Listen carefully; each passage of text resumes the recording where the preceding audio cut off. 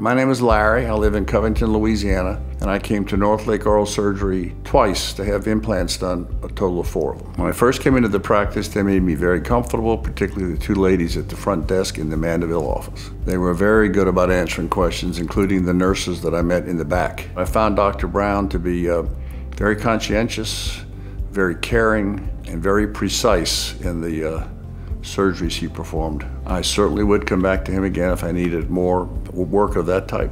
On a scale of one to five stars, I'd give Dr. Brown and his entire staff five stars.